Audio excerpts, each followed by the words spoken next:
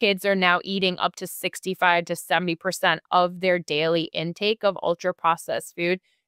is damaging their microbiome have a lot of toxins in our food, which is why we really try to avoid ultra processed foods, especially in children early on, because we know that ultra processed foods, you know, the one thing that I really wish I could go back and shake myself is like, do not give like Cheez Its and goldfish and stuff to a child like early on because it's just loaded with just